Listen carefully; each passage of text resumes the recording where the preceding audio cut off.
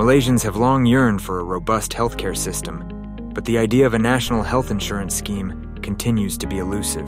The current system is a mix of public and private services, which often leads to discrepancies in care quality and affordability. For the average Joe, this translates to inconsistent healthcare experiences, varying from excellent to subpar depending on one's financial standing. An overarching national health insurance scheme could bridge this gap, promising standardized care for all citizens. Imagine a system where every Malaysian, regardless of income level, has access to the same high quality healthcare services. This could eliminate the current biases and discrepancies, providing a level playing field for all.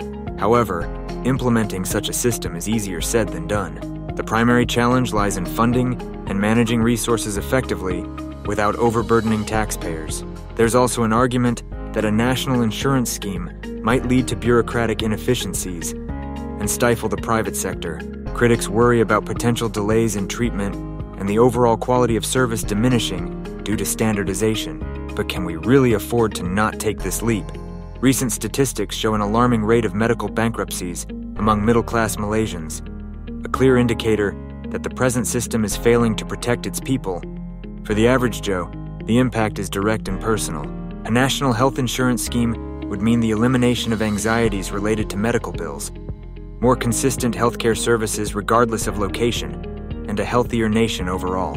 It's a transformative idea that could address fundamental inequalities within our society. The real question is do our policymakers have the vision and courage to make it a reality? With persistent dialogue and public pressure, maybe, just maybe, this dream could become a tangible, life changing policy for every Malaysian.